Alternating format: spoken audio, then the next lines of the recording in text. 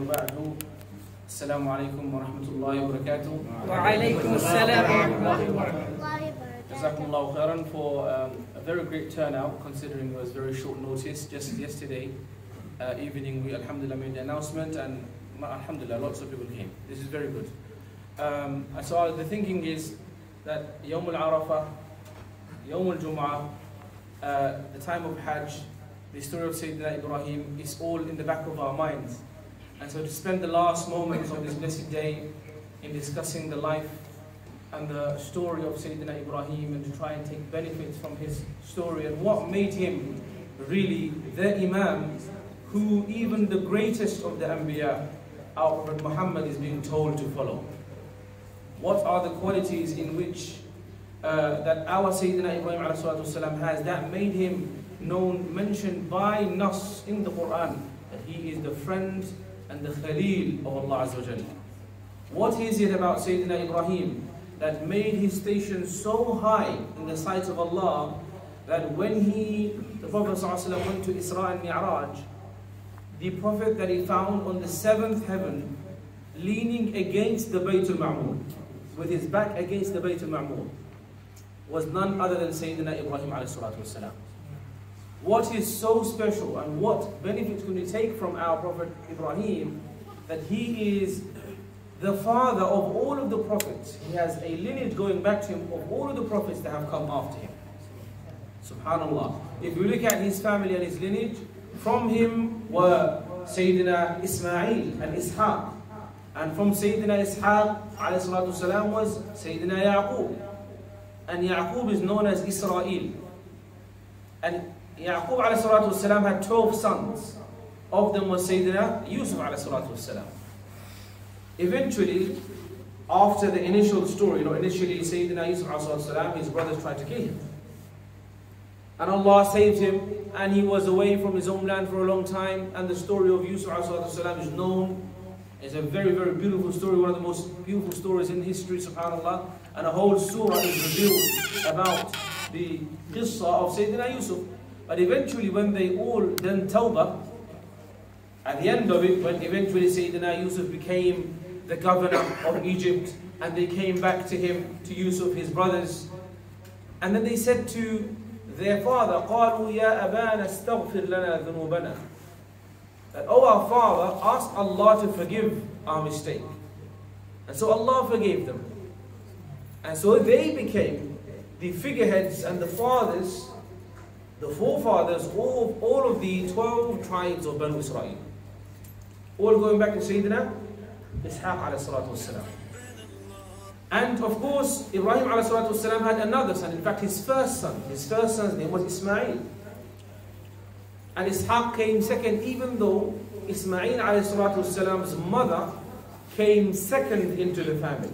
And so, who is our Sayyidina Ibrahim والسلام?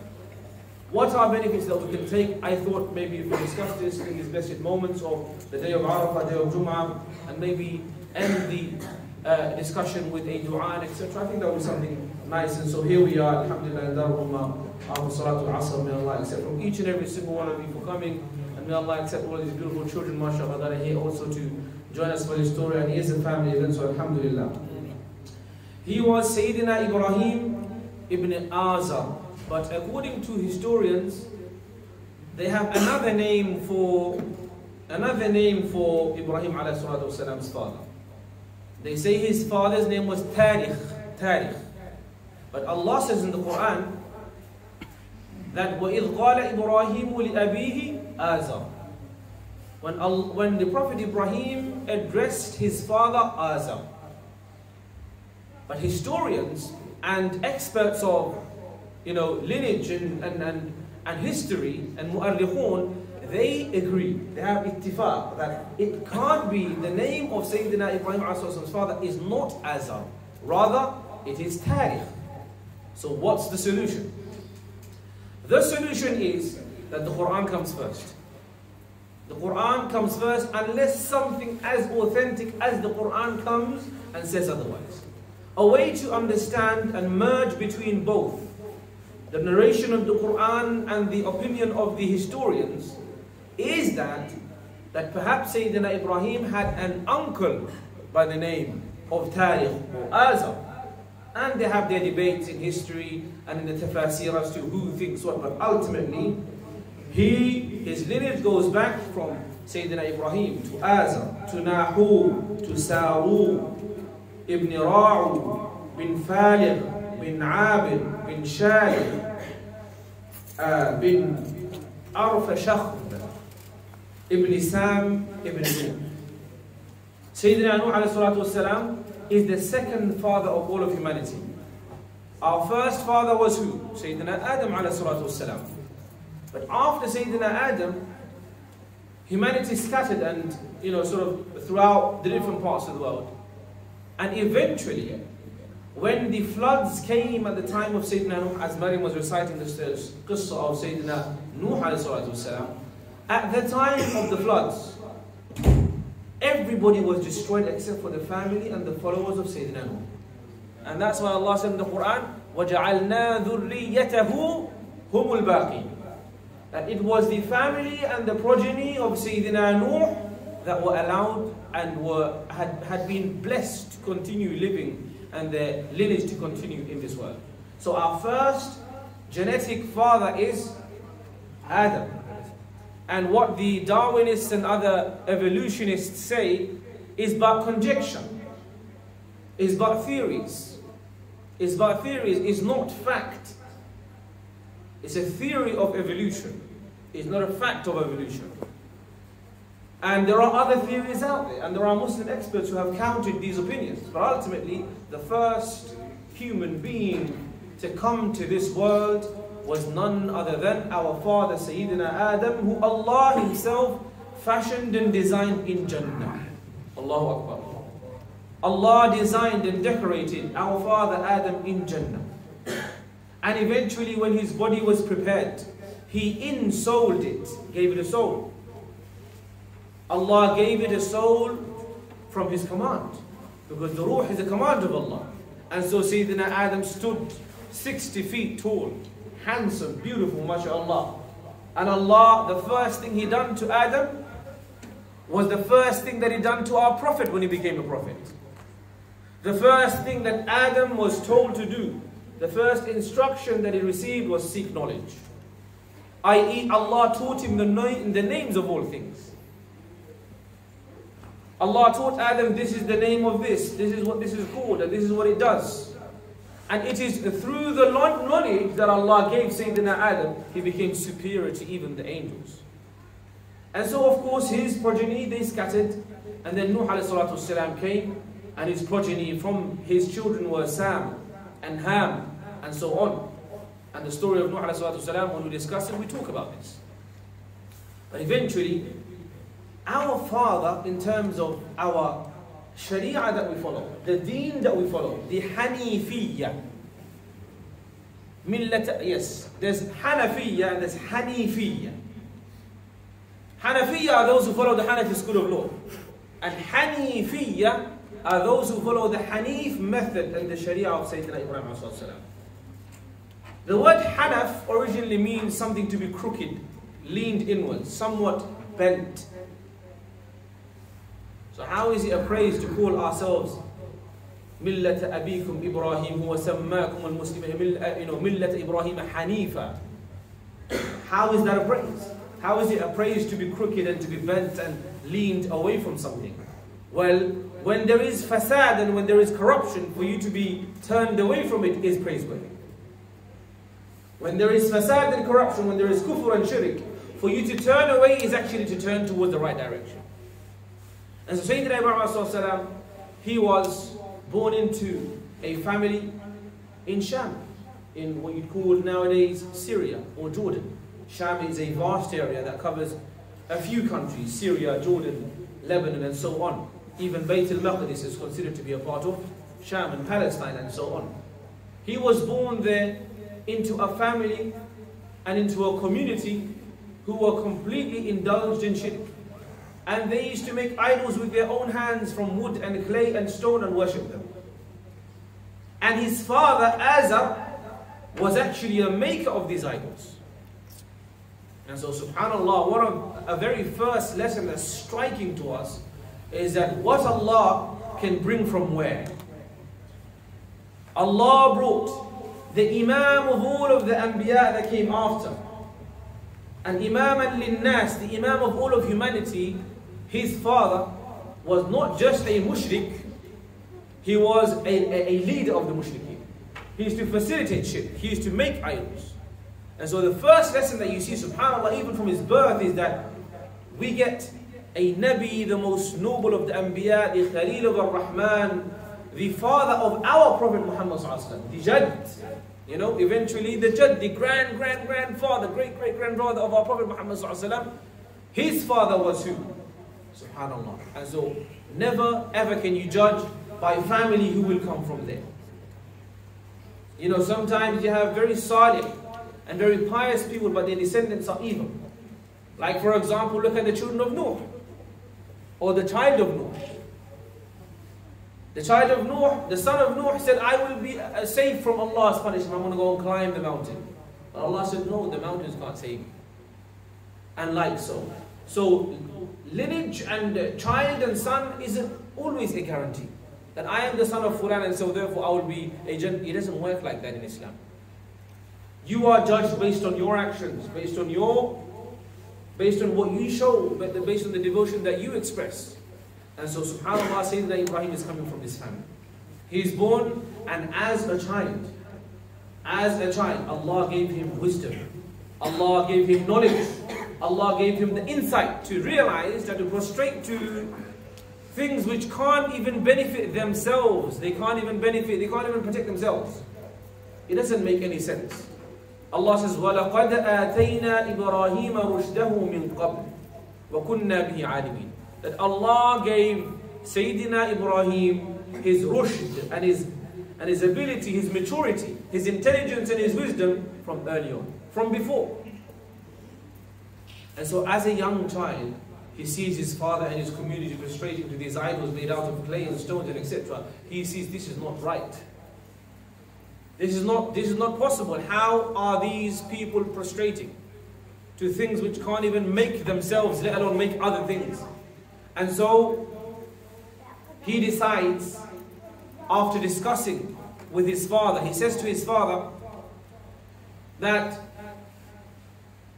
لم تعبد ما لا يسمع ولا يبصر ولا يغني عنك شيئا Oh father, why do you worship something that does not hear and cannot see and is not able to benefit you in any way, why do you worship such things? He says, Ya abati inni qad ja'ani min al-ilm. My father, knowledge has come to me that you may not have. It's fine, I'm younger than you, but I may have a piece of information that you may not. Another striking piece of wisdom and knowledge we learn from here is that you don't look at who is saying, you look at what is being said. Because a lot of the times, we say, oh, it's just a kid, what's he talking about? We shun it away. But sometimes Allah gives wisdom and knowledge to people even if they're young. Sayyidina Abdullah ibn Abbas anhu, used to be allowed while being a teenager to sit in the majalis of the greatest fuqaha and the ulama of the Sahaba. The likes of Abu Bakr and Umar, he used to sit among them as a companion, as a colleague, listening, learning, but also benefiting them. So age does not define wisdom. Because someone can be old and unwise, whereas someone can be young and be wise. Because rushd and guidance is from Allah Jalla Jalaluhu. And so he says, Oh my father, I have received knowledge, I have got information that you may not, not, not have. Why are you worshipping these idols? And so his father eventually gets frustrated and says, you know, لَإِن لَمْ تَنْتَهِ لَأَرْجُمَنَّكَ وَهْجُرْنِي مَلِيًّا if you don't stop what you're doing, which is disrespecting our idols, disrespecting our gods, and challenging us in our faith and our, and our creed, because we have found our fathers doing this. This is the way of our forefathers. This statement, this is the way of our forefathers, is repeated throughout history. Mushrikeen, they say, oh, our fathers have been doing this. And the same thing was said by the Meccans and the Quraysh. They said, oh, our fathers have been worshipping this. These idols and Lat and Uzza and Manat al-Thalith al-Ukhra. This is the way of our forefathers. How dare you insult them? But again, just because something has become a part of the culture, it does not necessitate that it is the haqq. Vast majority of the ummah and we practice, mashallah, is good. But even sometimes when you go and discuss and debate with some people who are in misguidance, in forms of bid'ah, in, in forms of shirk, minor or major, in forms of kufr even, you tell them, why are you doing this, akhi? You claim to be a Muslim. They say, well, this is the way of our fathers. And this is how our grandfather and our, our maslak or our this and our that is. And it may be incorrect. It may be not even Islamic. But ultimately, we learn from here that just because something has become a part of the tradition, it does not mean that it is Islamic or it is Shari'i. And so he says to him that if you don't stop, O Ibrahim,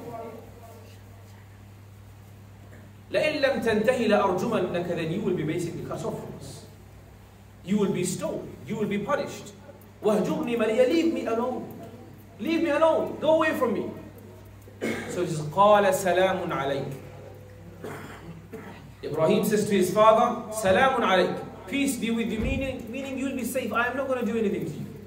I have no evil intention to harm you or to do anything. I am just talking to you, trying to discuss with you, trying to engage with you. سَأَسْتَغْفِرُ لَكَ رَبِّي You have peace and security from me. I will ask Allah to also forgive you. But this particular statement of Sayyidina Ibrahim was something that Allah corrects later on.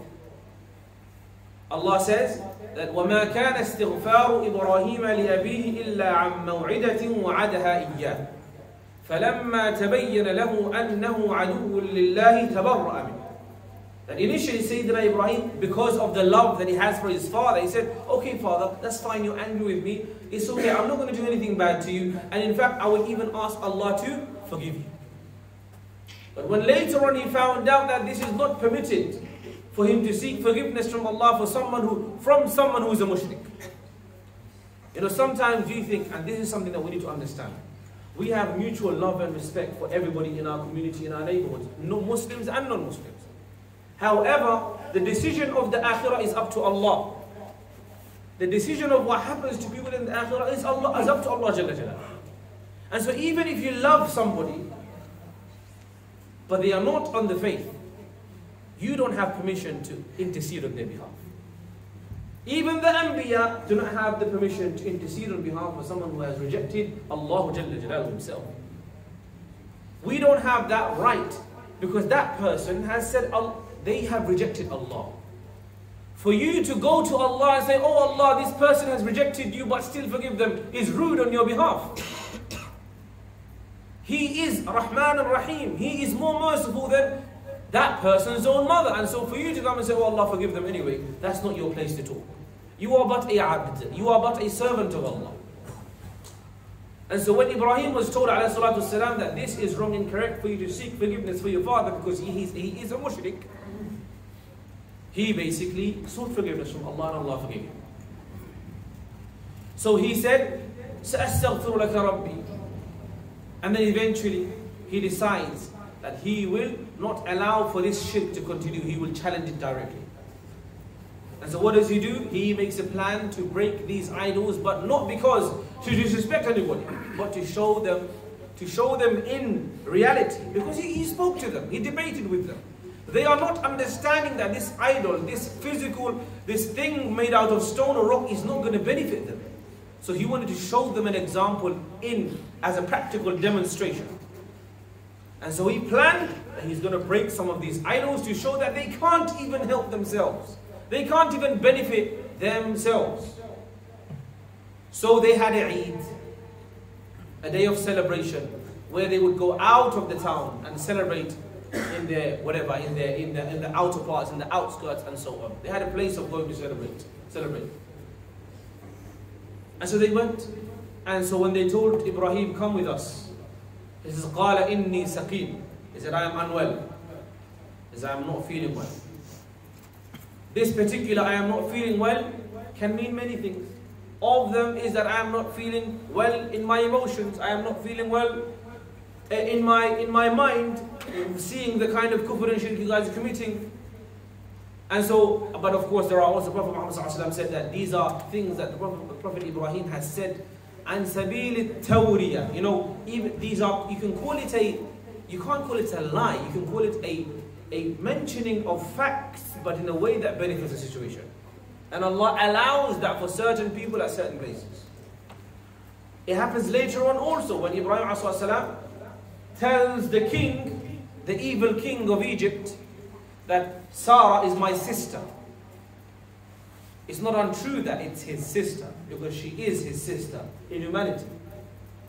And so sometimes saying the truth in a way that benefits the situation, but not maybe not what the person is asking directly, is permitted for some people to save their lives or to achieve a higher goal.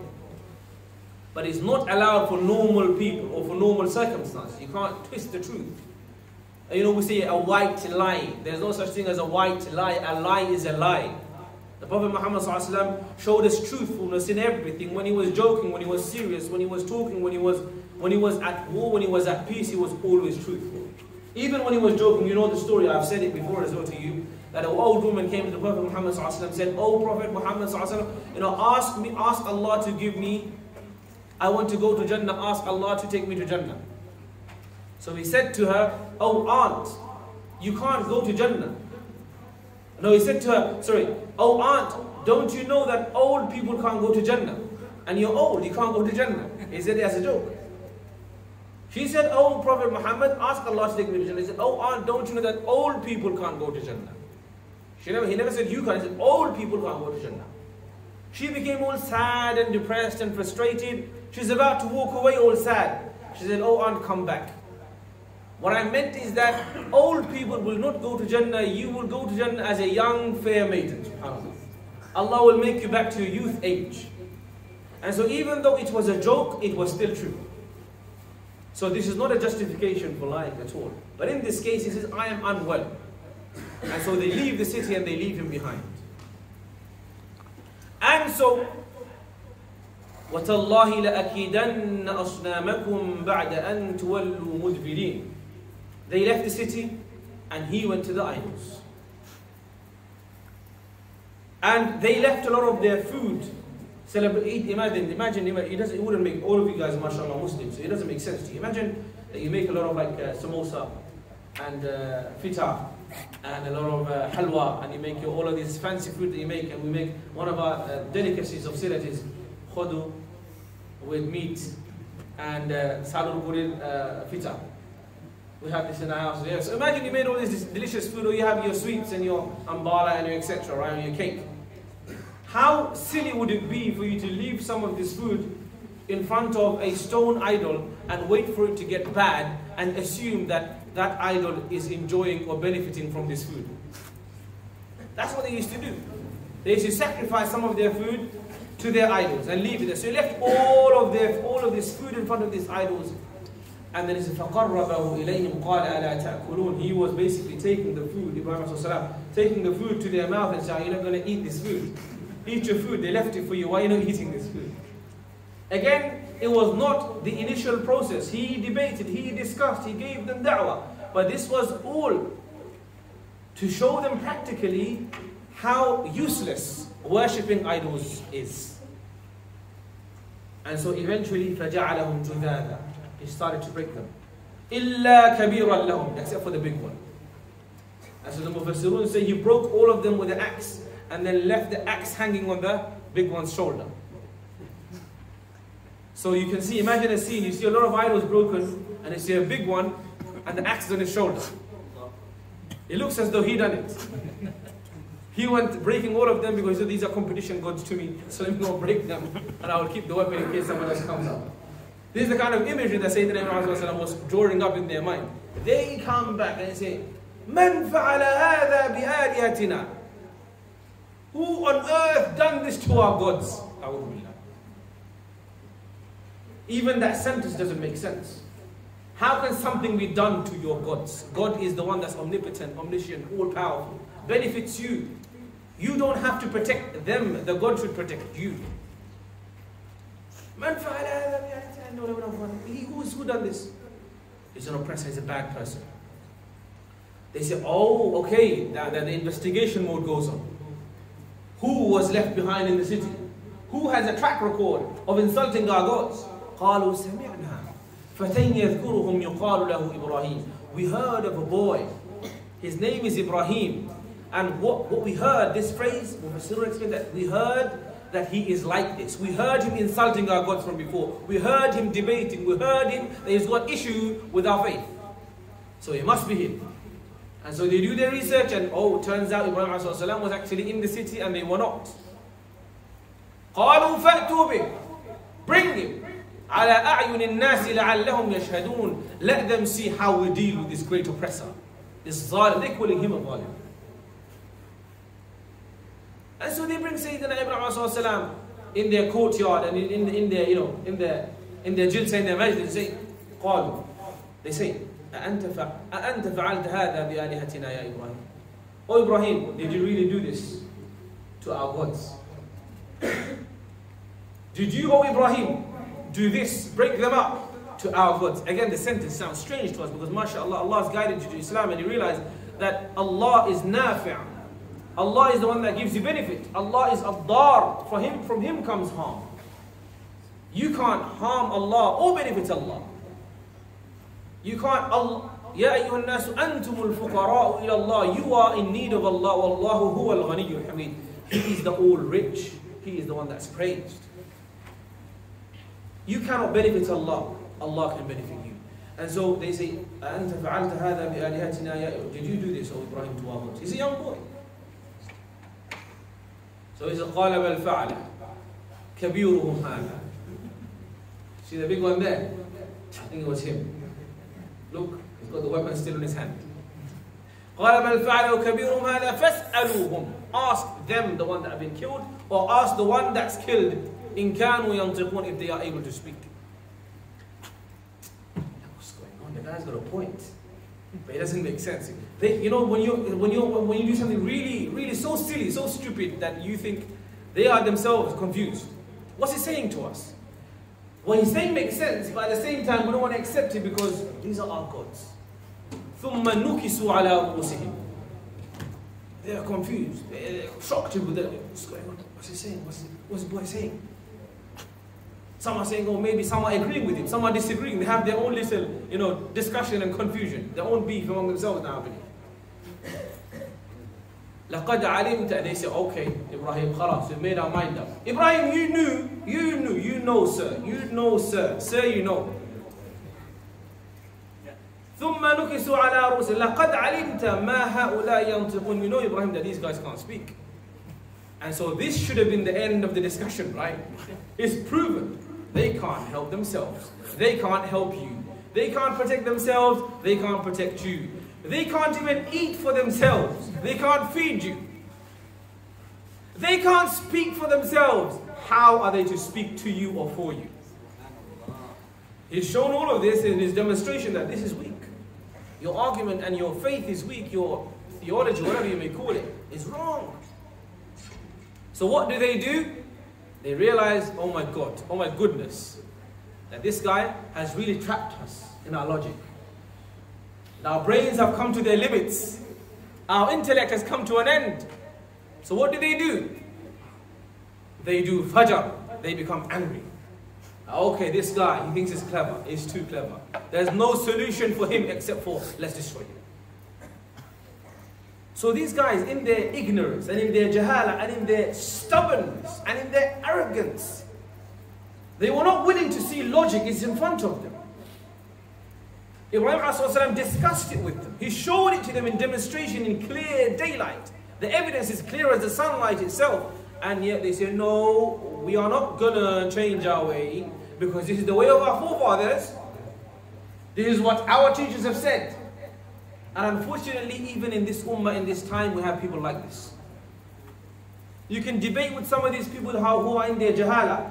And you will bring them all of the evidences from the Quran and from the Sunnah and from logic and from this and from that. They will say, but my Shaykh said, finish. Doesn't matter even if you bring all of the ayat of the Quran and all of the ahadith of the Sunnah and all of the aqwal of the ulama and all of the aqwal of the Sahaba. my teacher said, my people have said, my ustad has said. This kind of blind following is haram. This kind of blind following which distracts you from the truth is haram. Yes, iqtida and taqleed and following, even without knowing the evidence is jaiz, so long as it is leading you towards huda. It is leading you towards Quran and Sunnah. And so, subhanAllah, these people, of course, in a very far distant way of example, and you find they say, no, no, no. Instead of accepting your logic, Ya Ibrahim, we are going to punish you. And so what do they do? They say, let's make a massive fire like which no fire has ever been built before. And let's punish him and torture him inside. So would you believe it, that they were collecting wood to build this fire for not just days, not just hours, not just months. They were collecting to wood to build this huge, gigantic fire blaze for years. For years. And in their shirk and in their polytheism, this collecting fire to burn Ibrahim became an expression of piety for them. Ulama say that they used to be, sometimes some of them would say, they used to make an oath. That, oh, they used to take an oath by their idol and say, oh idol, if you make this happen for me, then I will become a, a wood collector to burn Ibrahim. So they were building this fire for ages. And that again shows the level of dalal and misguidance they were in, that they were in this engaged for a long time. And the whole community got involved. And so eventually they make, make build this massive fire. Then they realize we've got a problem.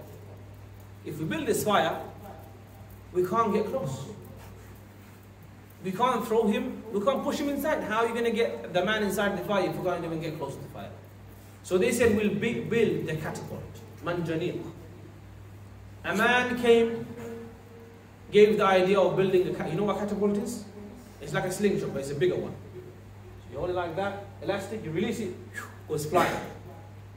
It was uh, one of the traditional, one of the historic sort of, you know, ancient weaponry. And so they said, we'll build a manjaniq, a catapult, and we'll put Ibrahim in it, and we'll throw him inside the fire. billah. All of this because they don't want to see the guidance. Was Ibrahim doing this for his own money, for his own benefit, for his own pocket, for himself? No. It was just so that they are saved from adhab of nar and so that they can have achieved uh, can, can achieve success in this life in the hereafter. But they were persistent in their dalal. And so they build this. And then eventually the day comes when they want to throw Sayyidina Ibrahim into this fire. And this man that built the manjaniq, the Mufassirun say that he was so despised in the sight of Allah, Allah eventually caused for the earth to swallow him up. You know, the Allah, the a'da of Allah, the enemies of Allah, they are always brought to justice. They are always brought to justice. Sooner or later. And so even the enemies of Allah today who think that they can do whatever they want and oppress and kill and suppress and so on, it is a matter of time. Allah delays their punishment so that so that they have an opportunity for guidance or istighfar, but if they not if they do not want to, then their crime becomes an evidence against them. Nonetheless, they throw Sayyidina Ibrahim into the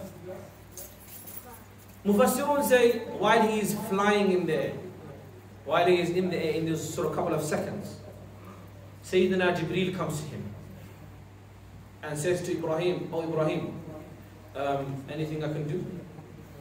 Can I help you in any way? Do you need any help? Sayyidina Ibrahim says to so Sayyidina Jibreel, of course, you know who Jibreel is, says to Ibrahim, Is there anything that I can do for you, O Ibrahim? So Ibrahim, in that moment, he says to him, Is it from you? Is the help from you or from Allah? Because if it's from you, then no thanks. And while he has no choice and no help and no one to resort to, he says this dua. Hasbunallahu wa ni'mal. This dua was said by Sayyidina Ibrahim when he had no one in this entire existence to help him except Allah Jalla Jalaluhu.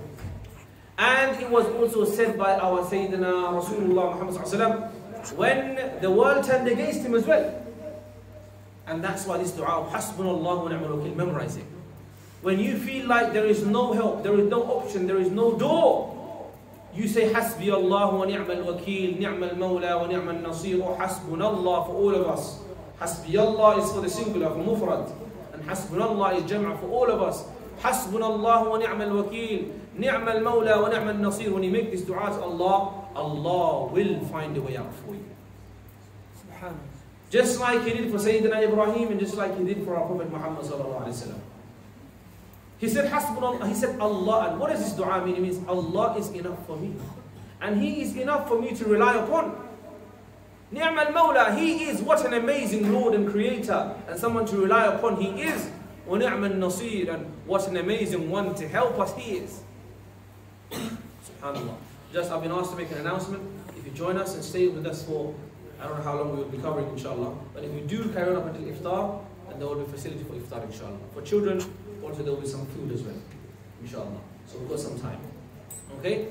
So subhanallah, Sayyidina Ibrahim is being catapulted into the fire. Allah could have easily asked one of his angels, for example, easy scenario. He tells Mikael salam, Oh Mikael, send the wind, let him fly away. Easy, right? Allah could have said to Jibreel, Jibreel, take him and put him to safety.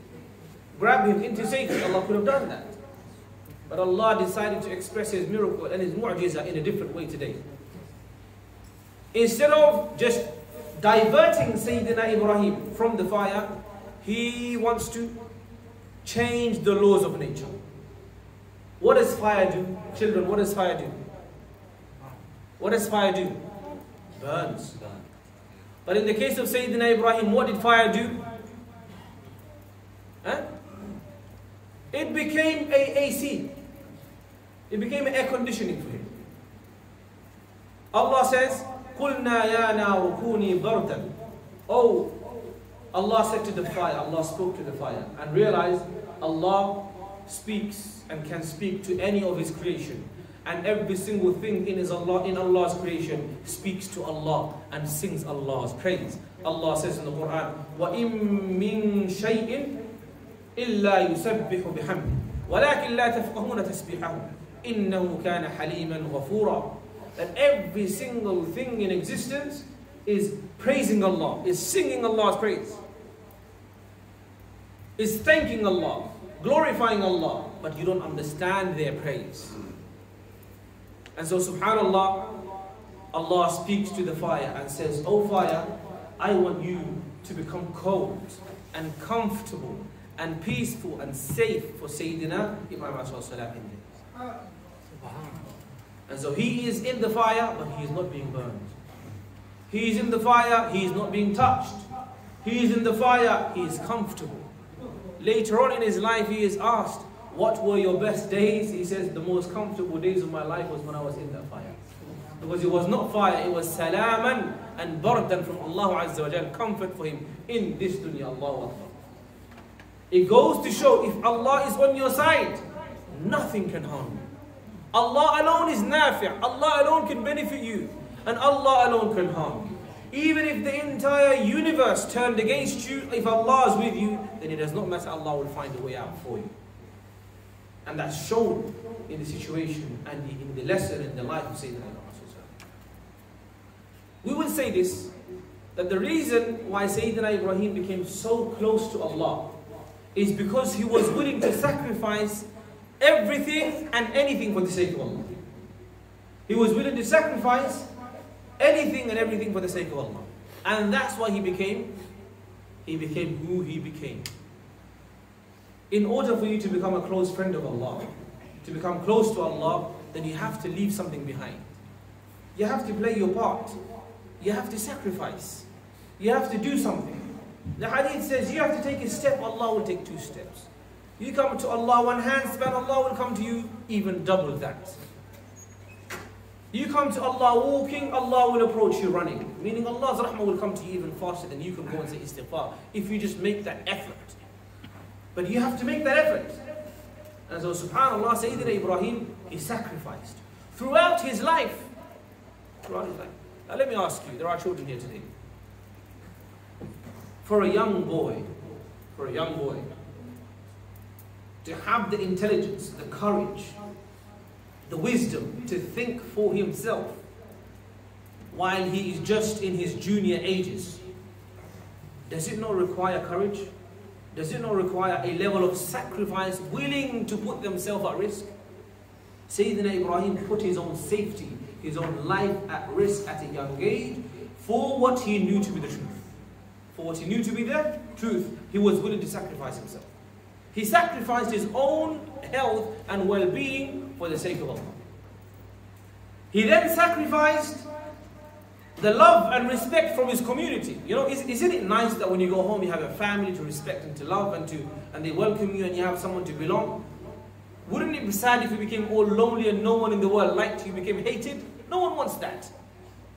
But Sayyidina Ibrahim was willing to give up all of his friend circle, his family circle, those who love him. He knew that doing this would put him at danger. He would have no friends, he would have no family, they would disown him. He knew this. And yet, he said, No. This is the truth, I will stand for it. So he sacrificed his own safety, he sacrificed his own family, he sacrificed his own friends, he sacrificed his own community for the sake of Allah that he knew to be true. And that's just within his junior years. He hasn't even grown up yet, probably. And then eventually he's thrown into the fire. He doesn't give up. He's willing to burn for the sake of Allah. And he's in there for many, many days. Eventually, he decides that these people will not take heed to his guidance. So he decides to do hijrah. He decides to do hijrah. Even in this part of the story, hijrah, we take a fa'idah, we take a benefit. You know, we talk about hijrah even nowadays. A lot of people ask me every now and then, oh, Akhi, do you think that we should migrate from this country? Do you think that we should leave this country because it's a country of kufur and it's a country of this and a country of that because of all of the isms that are propagated nowadays? What do you think we should do? We see here that Sayyidina Ibrahim was trying and trying and trying until they literally tried to kill him, then he did hijrah. What we take from here, the guidance is that you are not enforced and it does not become wajib for you to do hijrah until you are fully incapable of practicing your religion. Does that make sense? If someone is physically stopping you from practicing your religion, then you should, and it becomes wajib for you to do hijrah. In ardi wasi'ah. That Allah's land is wasi', do hijrah. ومن يهاجر في سبيل الله يجد في الأرض مراغما كثيرا وسعة If you migrate for the sake of Allah, you will see that the, the world is very vast. Most people in this country, and in fact anyone that lives in one country and one community for a long time, they live in a bubble. They think the whole world behaves in one particular. Yes, sir. Oh yes, hijrah. What is hijrah? Hijrah means to migrate, to leave your home and to go somewhere else. Do you see? And so the, we learn from here that Sayyidina Ibrahim migrated. قال إني مهاجر إلى ربي إني ذاهب. I'm going, I'm leaving, I'm doing hijrah. When they did not accept his da'wah, when they tried to kill him, when they tried to burn him, Allah saved him. And so he says, no, I am going to leave now. And so he leaves Sham. And he leaves, and by this time, by the time he is leaving, he is married to his wife, Sarah. The details of the story of his marriage is also there in, in Tarikh, but we'll have to speed up a bit because we've got quite a lot to cover still. So he is married eventually to Sarah, alayhi salatu wasalam, we say out of respect and dignity. And Sarah was a noble woman. She was the most beautiful woman of her time. She was the most noble woman of her time. And she was married to the most noble man of the time. Allah allowed for that marriage to continue to take place. And so they left. And in their travels, they went to different lands and different countries. And eventually, they approached the land of Egypt. The land of Misr. That, you know, so many Anbiya have gone to. This is just a side point. You know, sometimes when brothers, they want to go on holiday, and they want to go on uh, honeymoon, holiday, they want to go with their friends to somewhere. I don't know why do these guys and why do you guys go to these random places which has no you know, historic benefits for you and for your faith, whereas there are much more beautiful places within Muslim lands. People go to like Spain. Khalas, if you go and visit Al-Hamra, etc., that's fine. But they go to random places, which is, I don't see what benefit there is, except for sunlight. But you go to a place like subhanAllah al-Iskandariya, or Ain Sukhna, or Marsa Matruh in Egypt, not only will you have the sun, not only will you have the, the beach, not only will you have white sand, you'll also benefit historically, subhanAllah, Sinai, Sinai province and the areas around it, subhanAllah. Go and travel, go and see, see fil ard, because traveling is so beneficial for you. And traveling is encouraged in the Quran and in the Sunnah and also by the ulama. Imam Shafi'i encouraged traveling. He said there are benefits of traveling and he listed them. And so subhanAllah, he comes eventually to Egypt. Egypt was ruled by, before that story, before he migrates and he leaves the country, he also was brought to the king Nimrud. He was brought to the king Nimrud. And this Nimrud was again a very vile, evil person. He was so full of himself because of the money that he had and the power that he had, he started to convince himself that he is God. That he was the God himself, just like Fir'aun of Egypt did at, at, later on. And so, and so, and so what he does is, uh, they are, he is brought to the king, Nimrud. And Nimrud says to him, and this is in the Quran, ألم تر إلى الذي حاج إبراهيم في ربه أن آتاه الله إذ قال إبراهيم ربي الذي يحيي ويميت So he is debating and, and, and discussing with this king, evil king, and he's saying, My Lord is the one that gives life, yuhyi, gives life, and gives death. So this evil king says, قال أنا أحيي وأميت. I also give life and give death. But this is a lie. Because no human being can give life or death. Giving life is to give it when it's not there. To give someone life is to give them life when it's not there. And to give them death is to give them death through. So let me, let me discuss. Let me explain to you what it means. If a person is alive, okay, and someone murders that person, that person has caused the death by destroying their physical structure. But Allah Azza wa Jal can cause death without damaging the physical structure. Can a human being do that? Can any human being do that? When a person dies, their soul leaves their body. No, someone can be completely healthy. No damage to their physical structure. They're completely healthy and all of a sudden they die. Is that possible? Does it happen? Yes, it happens. And that is the meaning of Allah causes death. Allah causes death to somebody, but if somebody says, Oh, I'm just going to murder that person, and that's going to be causing death, this is not the death that we're talking about. Allah causes death mutlaqan. Even if someone dies from a natural disaster, or from physically being harmed, or from being completely healthy, Allah is the one that causes death. And so this evil king says, I am also causing death and causing life. And so he gets some prisoners and he gets an innocent person and kills him and says, Look, I have caused death. This person was supposed to live. And he gets a, an evil person who's supposed to be sentenced, to death and says, I will free him and I have caused life. It's. This kind of hujjiyah, this kind of evidence is, is, is a very, very dodgy type of argumentation. This kind of argument and logic is a false logic. It pretends to be, it shows to be logic, but it's not. It's inaccurate. It's false. Because he is also, he knows he is lying. He knows that he can't cause death. He knows that he can't cause life, as in bringing to life someone from death. So Ibrahim says to him, listen to this story, it's very, very beautiful, subhanAllah. Ibrahim says to him, khalas, if you claim to be God, then فَإِنَّ اللَّهَ يَأْتِي بِالشَّمْسِ مِنَ الْمَشْرِقِ Allah causes for the sun to rise from the east. So you cause it to rise it from the west. And this is when the stupidity of this king is expressed and it becomes is shown. How? He became, he had no words to say, but how? If he was a clever and a conniving, if he was cleverer than he was, then do you know what he could have said? What is an answer that he could have given, right here? Ulama say this. The ulama say that this, and it shows that even though he was a king, he was evil and he was unintelligent, he was unwise, he was not good at debating at all.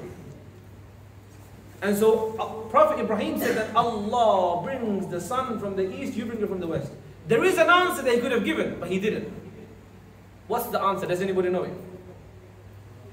Huh? Uh, What does that mean? So the east is other side. Okay, possible. Yes? Yes. He could have, because he's arrogant, he's a kafir. In his kufr and his arrogance, he could have said, Actually, I am the one that brings you from the east. So you tell your Allah to bring me from the west. A'udhu billah. But he never had the intelligence to say this. And he goes to show again that he was not intelligent. Because even his first part of the argument, saying I cause death, I cause life, is, is a false argument. It's not true. But again, he became, you know, uh, he became uh, dumbfounded. He had no words to say. And so Sayyidina Ibrahim won that debate. And eventually he migrated and then he entered into Egypt. And when he entered into Egypt, again he comes across a very evil king. and this evil king is not just evil in his kufr, he's also evil in his, in his desires. And in his passions, he's evil in his desires. He basically has guards and security and his, and his, and his surveillance, surveilling the country, looking for women. And to bring, their job is to bring him the women that are beautiful and etc. And so they see Sayyidina Ibrahim والسلام, and with him is our uh, the, uh, the, the wife of Sayyidina Sarah والسلام. And as they are entering into the town, the news immediately reaches that there is there is someone within your someone within your country, within your land, that's the most the most amazing woman that you have ever seen. And so he basically says that bring them to my court. And so they approach Ibrahim and they say to him, Who is this woman? Who is this woman? He says, She is my sister. He doesn't say she's my wife. If he said she's my wife, they would kill him on the spot. Because if the king is to take advantage of her, they need to get rid of the spouse. And so he said, "Ah, she is my sister, and she is indeed his sister in humanity. But nonetheless, they take her to the castle. And in this time, while basically they're preparing to take her, Ibrahim says to Sarah that I, they spoke to me and they told me that who am I to you? And I said that you are my sister, so you should also say this. It is true, but it's also to save our life. And so they bring her to the castle, and in this time when Sayyidina Ibrahim can do nothing, he's completely helpless once again. Look how many times he's helpless. You know, this is again a, a that you can learn as a person, as a Muslim, as a mu'min, that just because you're a believer and a Muslim doesn't mean that you will always have a hunky-dory and luxurious. You will become helpless many, many times in your life. And through ibtila'at and imtihanat, and through tests and tribulations, you will become closer to Allah. The bigger the test, the bigger the reward. The bigger the competition, the bigger the reward. And so look how many times he's helpless. He's helpless as, as a child. He's helpless with Nimrud. He's helpless in the fire. He's helpless in his community. He's helpless from his family. He's helpless once again in front of this evil king in Egypt, in a, in a strange land, in a strange country. So what can he do apart from he stands in Salah? He stands in Salah and they take Sarah والسلام, to the castle. And so this king, he's so vile and so filthy, he immediately tries to take advantage of her. And her, his hand becomes paralyzed. He can't move it. Subhanallah. You know, a hadith Qudsi says, Man aada li waliyan faqad adhantuhu bil harb. That whomsoever opposes a friend of mine, Allah proclaims war against that person. And so this Aduullah, this kafir, king, evil king, Jibreel move out of the way. He wants to take advantage of, uh, uh, she is definitely a waliya, a friend of Allah. The wife of our Prophet Ibrahim, Allahu Akbar. If Ibrahim uh, is our father, alayhi salatu wasalam, if he, millat abikum Ibrahim, is our father. He is father in the sense, even though, if not maybe biologically, but he is our father in terms of Sharia.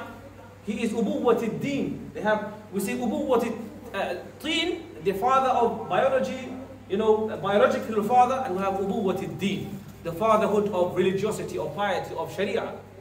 And so he is our father in that way because we follow his Sharia. And so she is our mother, subhanallah. he reaches his hand out, his hand becomes paralyzed.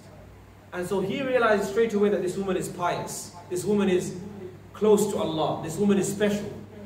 So instead of saying to his medics, oh medics, come and save me, come and help me, he realizes where the problem is. He's not completely, completely stupid. He's got a little bit of intellect. He says to Sarah, please make dua for me so that my hand becomes unparalyzed and I will not harm you. He, he basically is asking dua from the very person he tried to attack. But she is subhanAllah kind, she makes dua and his, immediately his hand becomes released. He is, he is he's an evil person, he's, he's disgusting. He tries again, his hand becomes paralyzed again. He's like, oh, please, just one more time. Make dua for me and I will not do anything. She makes dua and it becomes again. So he realized, he says to his God, that you have not, this woman that you have brought me is not an insan, it's basically it's, it's, it's, it's basically shaitan. He said it's, it's bad wording, but basically trying to he's a devil himself. It's basically it's not possible. What kind of person is this? So now realizing that he's in his very in very dangerous waters, that if that person if that person's du'a for him is accepted straight away, imagine that person's du'a against him. So now he wants to win the favor and the mercy of this woman. So what does he do? He gives her a gift. He gives her a gift. And the gift is a woman to serve her, a, a permanent servant. And the woman is called Hajar. Alayhi salatu wasalam. Hajar, look, look, at, look how Allah arranges things. Allah Man, subhanAllah, the Prophet Ibrahim is coming from Syria and the backstory to why he's in Egypt in the first place. Ibrahim is not even there in this castle. His wife is there to make her happy, the king gives her a gift to serve her. And this is an Egyptian woman by the name of Hajar And that's why the Prophet Muhammad you know, his lineage from his mother's side goes all the way back to Egypt, subhanAllah. Egypt is that connected to our seerah, to our history, to the Anbiya, and to even biologically, subhanAllah. And so he gives Hajar as a gift. Ibrahim is praying in desperate salah throughout that time. And all of a sudden, a few minutes or a few moments later, he's still in salah. He's desperately calling to Allah. All of a sudden, he sees his wife in his salah, Sarah coming into his home, wherever he was staying. And with him is another woman, or with her is another woman. What's going on? She's safe, nothing's harmed. Forget losing his wife. He has got his wife back plus another woman. What's going on? So he's very concerned in his salah. And so in his salah, he doesn't want to break his salah, because he would never do that. And at the same time, he doesn't want to carry on praying because he's going to be distracted with the thought. So he indicates with her a hand gesture. A hand gesture is jais even in our sharia to indicate something in salah because of a benefit, because of a harm, to, to give some guidance is jais. Okay, it's allowed. And so he says to his wife in an indication what happened what's going on. So you can imagine like sort of what's going on. She says that Allah Azza wa has saved me and Allah has given me this woman as a gift also, subhanAllah. Ibrahim salam by this age is very old. So is Sarah. Alayhi is very old, they have no children. And so eventually, Sarah salatu gives permission to Sayyidina Ibrahim to get married to Hajar. He encourages. He says, get married. She encourages her and says, get married to her. But then, subhanAllah, soon Allah favors Hajar in a way that He has not favored Sarah. And so, soon enough, Hajar is with child and she's expecting and she's pregnant and she has a child. And the child that's born is none other than who? Ismail. Ismail. Ismail is born healthy, strong, MashaAllah, beautiful, handsome, all of the qualities that you could want in a child is in Ismail. And so the love and, and the fondness of Sayyidina Ibrahim is inclined towards Hajar and thereby of course the child. Do you see? And so ulama says, well, it's, it's narrated numerously and there's nothing strange about it, that Sarah, salam, she basically had some emotional, you know, she was emotionally a bit upset about this. And so he kind of encouraged her, but that wasn't the reason why. Allah told the Prophet Ibrahim that you have a new sacrifice to make. Can you see how many sacrifices already made so far? Allah is basically put him into a test and a tribulation whereby his family, his wife, and for those of you who love your wives, you know what that means, right? You have this protective feeling of your family, your wife. You know, imagine you would get angry even if someone is looking at your wife in a strange way. And you should this is normal, this is fine. You know, nowadays, the tradition and the culture that we live in, they portray this as a negative thing. Oh, he's so jealous. Yes, he is jealous. But this is a protective jealousy, which is. This is a ghira, that which a Muslim should have. The opposite of this is forbidden. Men who display their women and take pride in it are strange people. They are known as the dayyuth. The one that shows his wife to the world and he thinks that's, that's some sort of a good thing. No, this is not. It shows that you don't have this level of dignity and respect to protect. And I, subhanAllah, I don't want to. I was in a country, I'm not going to say which country. Okay? I was in a country recently. I was in an Arab country recently. And I saw the strangest thing that I have ever seen. I was, I was shocked. I was shocked. I was, how can I see this? I see a man, I see a man covered from head to toe. He's wearing the scarf. He's got something on top of the scarf to hold the scarf. He's got a burqa on, or the thobe, sorry, on. He's got a thobe on from top to bottom. Everything. He is so covered. I think he even had a niqab, a mask on, sorry. And he is walking with a woman. She has no head cover. She has no body cover. She has no leg cover. And I straight away thought that these people have made it exactly opposite. The man's awrah is up to the knees. And the woman's awrah is how the man is wearing it. And this man is walking very proudly in a very big shopping center. And he's like, I can see the pride in his, you know, in his walk and his, you know, oh, look at me. I've got a, I've got a woman that's, everyone's looking at. This is very strange. This is not fitrah. This is not from the natural protectiveness that a man, a, a human being feel towards their spouse. Women feel it too. Sisters don't like it when the man is dressing too nicely to go out. They're like, what's going on? Where are you going, man? Where are you going, boss? They don't like this as well. But it's fine, subhanAllah, obviously making this presentable. So naturally, you know, the Ummahat al-Mu'mineen, Aisha anha, she also says, and others, you know, this is a natural feeling. And so Allah says to Sayyidina Ibrahim salam that you have a new sacrifice to make, and that is to start the most difficult of the journeys now. Because so far, every journey that he has made, he had a starting point where there were people, where there is civilization, and an end point where there are people, where there is civilization. Now Allah tells him, after having been gifted with a child after years and years of sabr,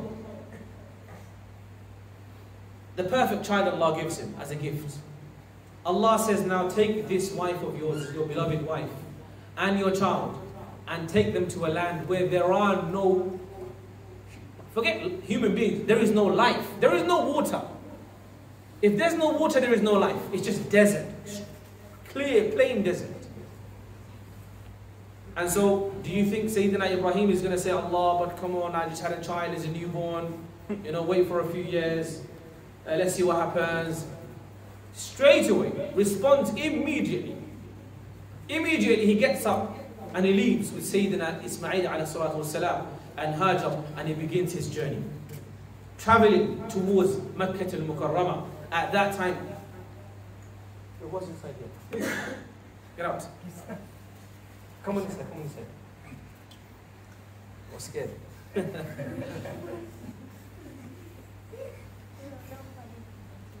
scared. Jibril, listen to the story, yeah? This is where it gets really interesting. So they travel, subhanAllah, towards Makkah al-Mukarram. And Sarah, uh, Sarah alayhi is left behind.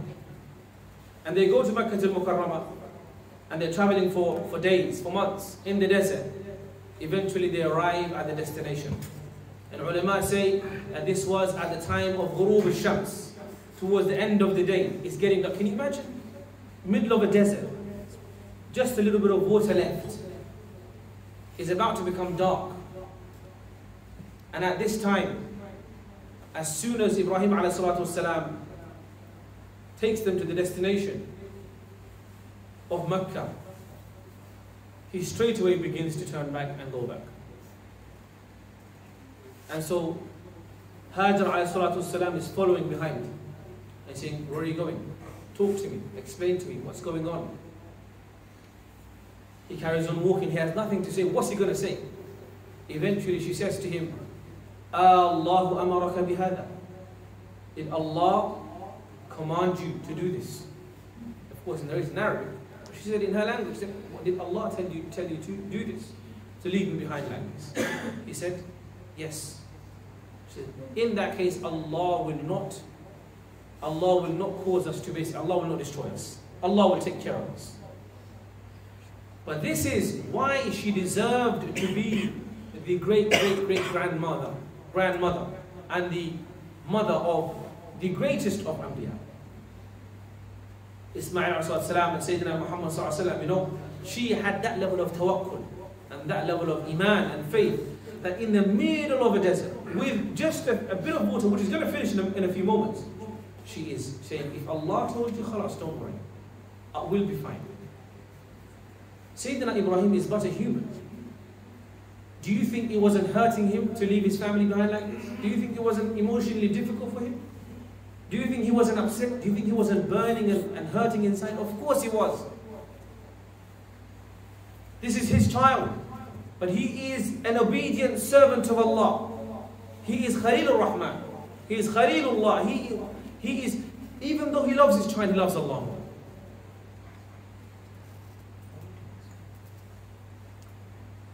And so after he leaves the city and behind, when he basically, they can't see him anymore, that's when he makes the dua that's quoted in the Quran.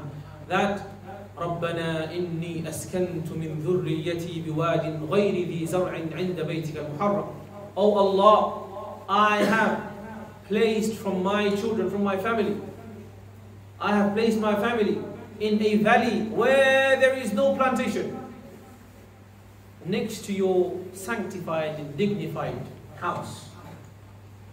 فَجْعَلْ أَفْئِدَةً مِّنَ النَّاسِ تَهْوِي إِلَيْهِمْ So, O Allah, they are alone, give them companionship. Make people come and reside with them. وَارْزُقْهُمْ مِنَ الثَّمَرَاتِ And provide for them not just water, provide for them fruits. Fruits. لَعَلَّهُمْ يَشْكُرُونَ So that they, are, they may be thankful. ربنا إنك تعني كرزهم الدعاء makes that dua there.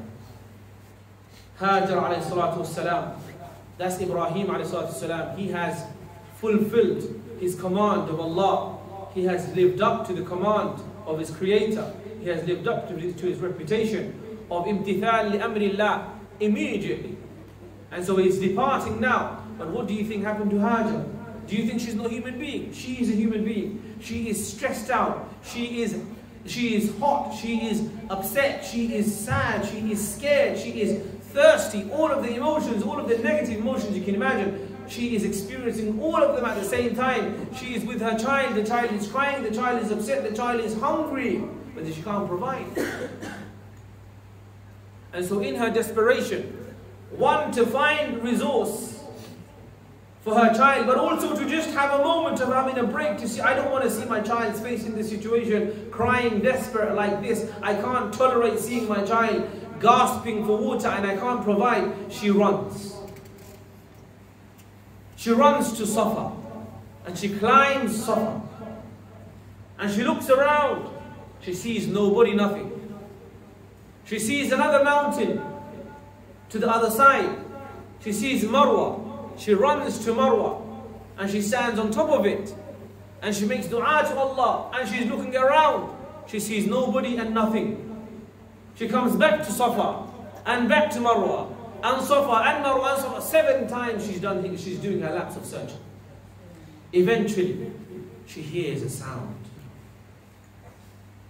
She hears a sound and she rushes back to her child. She rushes back, she rushes back to her child and She's scared for herself. And she can't believe the sound herself. She's shocked at the sound itself. SubhanAllah, just notice what's happening here. This woman, Hajar, she was a servant. From being a servant, she is the wife of Khalilur Rahman. Then from being that, she is to become, she is now the mother of Ismail alayhi salatu wasalam. She is now the woman in whose footsteps Hujjaj li Baytillah will forever for eternity be running just like she ran in desperation. We too are running and will be running and do run whenever we go for our Umrah and our Hajj. She ran for desperation of water and provision. We run for desperation for Allah's forgiveness. For Allah rahmah subhanAllah. And so she hears this sound and she comes back to Sayyidina Ibrahim and she sees a man there. And the man says, I am a messenger from your, from your Lord. And so Sayyidina Ibrahim thumps, sorry, Sayyidina Jibreel thumps the floor with his foot or with his wing and out sprouts lots of water. Out sprouts lots of fresh drinking water from the middle of a desert. Can you imagine? From the middle of a desert, water, fresh spring Zamzam water begins to flow. And so Hajar والسلام, starts to gather this water to try and protect it, to, to make sure it's not drying away. The Prophet said that, you know, may Allah have mercy upon Hajar. Had she not stopped the water from flowing, this would have become a stream, one of the greatest, one of the most beautiful, one of the greatest streams and lakes of fresh drinking water, subhanAllah. And until today, even though it's not a lake, it is still the most miraculous well in the whole of the earth, the whole of the world. The amount of water that's pulled out of Zamzam every single day is mind-boggling. It doesn't make any logical sense. It doesn't make any scientific sense. The liters go into the millions. And it keeps on providing, subhanAllah. And so she drinks from the child. And, sorry, she drinks for, she provides drinking water for the child, sorry. And the child drinks from, from, from her. And the Zamzam water, subhanAllah, one of the, one of the miraculous things about Zamzam is that it quenches your thirst and your hunger. One of the miraculous things about Zamzam is it quenches your thirst and your hunger. Try it one time. I haven't tried it yet, but we should try it. This is one of the amazing things about the Zamzam itself, because they were living on just Zamzam for many days. It's that same Zamzam. Zamzam. And the Prophet said the hadith also that you know the, the zamzam it's, it's, it's, it is ta'am as well as sharab. It is a provision, food as well as drink. And so soon enough there was a tribe traveling nearby, you probably heard this story, from Yemen, the Jurhum, the Jurhumites um, were from a, a Yemeni tribe and they're traveling and they were from the Arab who remained you know, as you know, historically, where do all Arabs come from? Huh? Yemen. Yemen. Yemen. Yemen is the source of Arabs. Yemen, they come, the, the, the, the, even the Arabs, there are, so Arabs are divided into different categories. The Arab that became extinct, like Ad and Thamud that were destroyed because of punishment from Allah. And then there's Arab al-Baqiyah, the ones that remained. And from them are some were some in Yemen. Or, or, they were in Yemen. And from them, they, they, would travel from along the sea route, along Jeddah, what we call Jeddah now, along the Red Sea, they would travel for their trade routes and etc. They would travel. And so they had, of course, their way of navigation. They would take guidance. They also had their ways of spotting different types of birds. And they knew what type what types of birds do what. And so unusual to their norm, they see a group of birds flying in and around Mecca where there is no water but they see that they are flying and behaving in a way as though there is water there. And so the Jurhumites come and they come and seek permission from Hajar alayhi and say, can we stay with you? The Prophet, the Prophet Ibrahim made what dua? That I have made some of my family stay in this biwadin ghayri So allow for some people to come to them that dua was almost immediately answered. And so Banu Jurhum, they, the Jurhumites, they come and they say, can we stay with you? And Hajar says, you can, but the water is mine. Yes. She wants companionship, But she also wants to control the water because Allah gave it to her as a gift. And so through this way, they become noble and respected and secure and safe and important in that initial community that was being built in Makkah al-Mukarram. And so soon, subhanAllah, Ismail, baby Ismail, is being brought up in the Arab. And from there he learns his Arabic language. Can you actually place on the floor, Jibril, excuse me, Jibril, sit down on the floor. And don't do this. Sit down. Everyone else is sitting comfortably. Sit down. Sit, turn this way Turn this way completely. Jazakumullah. Thank you. And Ismail salam grows up in this way. But Ibrahim والسلام, would come back and forth regularly. He would come back and forth regularly to visit. On one of his visits, when he comes to visit Sayyidina Ismail والسلام, and Hajar, he now Ismail is of an age that he can basically say maybe age of 10 he is able to basically run around. And also if his father says do this do that he's able to basically fulfill those commands and fulfill the needs and so on. At that age especially if the child is an obedient child and listens to you yeah then this is one of the best ages because the child is mashallah you love your child he is handsome and beautiful and cute to you.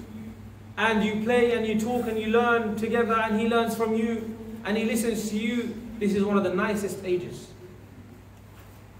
And this is when the love for the child grows to a very, very high degree, you know, highest, you know, one of the highest perhaps.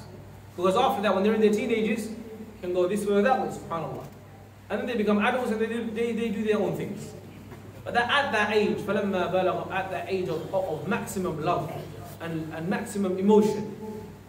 Allah Azza wa Jalla is now to test Sayyidina Ibrahim once again in the most difficult perhaps way. Out of all of the tests so far that he had completed and mastered and got 100 out of 100 in all the examinations that Ibrahim was tested in, now is perhaps the most difficult test. Allah says, Allah doesn't say actually. Allah shows a dream to Sayyidina Ibrahim. And in this dream, Ibrahim sees that he is he is slaughtering his own son. And Ru'yatul Anbiya, the dreams of the Anbiya is true. But and yet, and yet, this is how Ibrahim was. He would take Allah's command at the earliest sight of it and he would fulfill it to its maximum possibility of being fulfilled, to its complete fulfillment. How so? This command, even though it's in the ru'ya, however, it is not a direct command from a malak. Do you see? It is a very difficult command. But even though it came to him in the dream, he immediately responded and instead of just dragging his child, he also used his wisdom. He basically said to his son, قال يا بني Oh my son إني أرى في المنام I have seen in my dream The son is a young boy Ismail salam. The father is saying I have seen in a dream The son could have said okay that's just a dream dad It's just a dream wake up But no Just like father like son he made dua for his children and his children subhanallah Ismail was obedient and he was wise, and he was clever, and he was intelligent, and he was strong, and he was all of the qualities of positivity were in Ismail salam. And so, subhanallah, instead of saying all of this, Sayyidina Ismail says, قال يا أبت, Oh my beloved father, افعل ما تؤمر, do what you have been commanded. And then he says, ستجدني, you do what you need to, O dad. You will find me, inshallah, by the permission of Allah, min as-sabirin. I will be patient he didn't say, oh, I'm a strong lad, don't worry, it's fine, I'm strong, I'm brave. He said, inshallah, if Allah allows, then I will be patient. He's maintaining his humility, but also obedient at the same time. Subhanallah. They both submitted, the son and the child. فَلَمَّا أَسْلَمَا They both submitted to the command of Allah. Then Ibrahim والسلام, takes his son Ismail and is traveling with him to the place of the designated slaughter.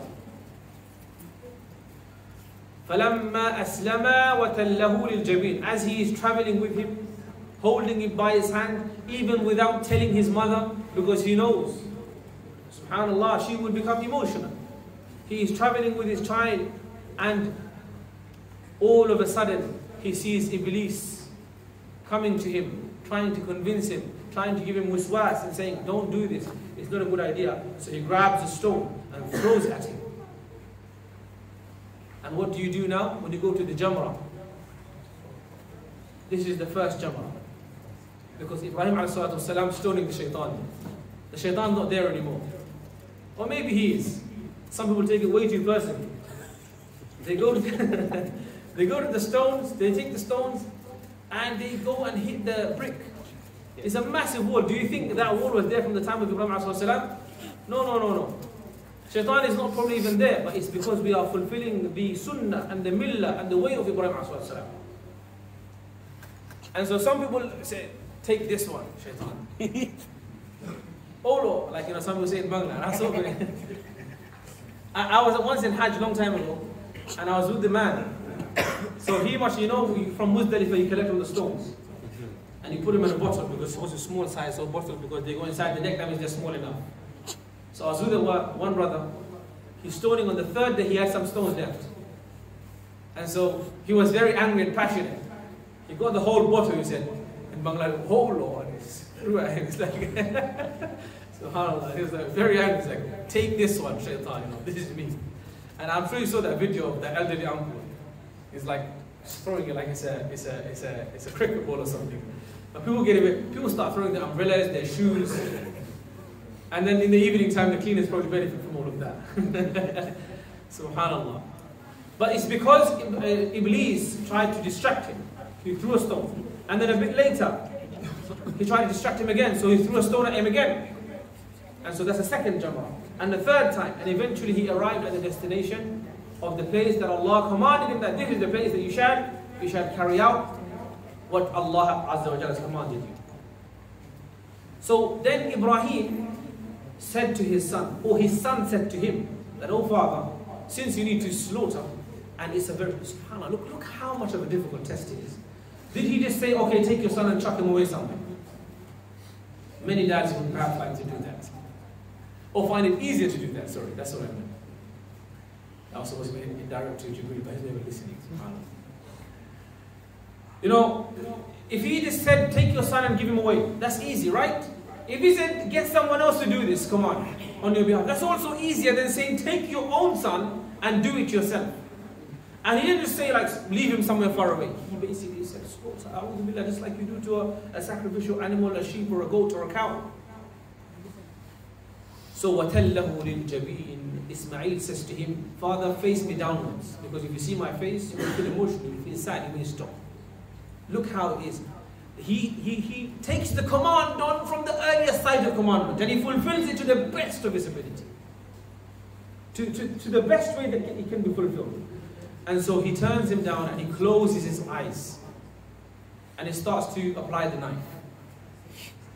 And he's thinking that I am doing what Allah told me to do. He opens his eyes and he sees that he slaughtered a sheep and his son is next to him watching. وَفَدَيْنَاهُ بِذِبْحٍ عَظِيمٍ Allah sent him a goat or a sheep of that type, you know, from Jannah to slaughter instead of Sayyidina Ismail alayhi salatu wasalam. Ulama say here that if had he slaughtered Ismail really, then subhanAllah, it would be a very difficult task for us to go to Hajj. Did I take all your children every year, come back with an extra passport? One way tickets for some people, I will do that. No, no, we're making obviously, we're trying to keep it uh, light as well because subhanAllah, this is not how our Sharia works. Allah's Sharia is wise, Allah's Sharia is full of rahmah. But this was a test to see how far he would go, only to be given the certification later on that he is Imam of the whole of humanity. So that happens. And then so he goes back and forth again. And then one, on one occasion he comes back and he finds that his Ismail has now married. And then he comes another time, he finds that he married a different woman, and there was a, a, small detail to that as well. He said, you know, he, he left a message, a coded message to say, you know what, and etc. But then eventually the command comes that you are now to build the house of Allah, the Kaaba. Allah told him, this is the designated area. Is the designated area. Build a house. Build a allocated area, build some bricks. Build some stones. The task is done with just a few stones, isn't it? Because Allah didn't say build it up to this high, this width. No, He just said make a house. Make a house. But Sayyidina Ibrahim, what does he do? He takes the command at the earliest sight and he sees it through until the best completion. So he says to his son, Will you help me with this? He says, Yes. And so Ismail was getting the bricks and getting the stones, and Sayyidina Ibrahim was putting them into place. He's building it high and high and high. He didn't have to. Eventually, he got a larger stone to stand upon it to place the higher stones. And that is called the Maqam of Ibrahim. That's where he stood to place the higher stones, the final stones of the Kaaba. And that's where the Maqam of Ibrahim is there. And whoever does tawaf, whoever does umrah, you have to pray at Maqam Ibrahim as a part of your umrah and as a part of your tawaf. SubhanAllah. The family of Sayyidina Ibrahim was so blessed, so fortunate, so beloved to Allah. And eventually Sayyidina Ibrahim والسلام, in his traveling back and forth, he eventually died back in his in his homeland. And he is and he is he's buried there until today. And Sayyidina Ismail continued to live in, in, in Mecca. And from his progeny was our beloved Prophet Muhammad sallallahu alaihi wasallam. But look, Allah says in the Quran, وَإِذِ ابْتَلَى إِبْرَاهِيمَ رَبُّهُ بِكَلِمَاتٍ فَأَتَمَّهُنْ That when Allah tested Sayyidina Ibrahim with many, many different commandments, and Ibrahim fulfilled them, fulfilled them. And then at that time, قَالَ إِنِّي جَاعِلُكَ لِلنَّاسِ إِمَامًا That's when Allah said, I will now make you an imam for the whole of, whole of mankind. Brothers, the lesson from this is that Allah will test you in different ways in your life. If you are able to pass this test, Allah will raise your ranks. Does that make sense? If you are able to pass these tests, Allah will raise your ranks. Allah will forgive your sins, yes, Allah will also raise your ranks through these tests. We also learn that if you want to become a close servant of Allah, beloved to Allah, then you have to be willing to sacrifice that which is beloved to you for the sake of Allah. Allah will never ask you to sacrifice and to do something that's beyond your capability. But what's within your capability, you have to be willing to sacrifice. May Allah give us tawfiq and understanding. We have about five minutes left until Salat al-Maghrib. Use this time for dua. And iftar inshallah will be having soon bi'idhnillah May Allah forgive all of our sins and accept from all of us. Amen. And accept our ibadah of Hajj of Yawm al-Arafah. And give us the ability to take istifada and to take fawaid and to take benefits from the story of Sayyidina Abuna Ibrahim alayhi salatu wassalam. وصلى الله وسلم على نبينا محمد وعلى اله وصحبه واصحابه اجمعين والسلام عليكم ورحمة الله وبركاته. عليكم السلام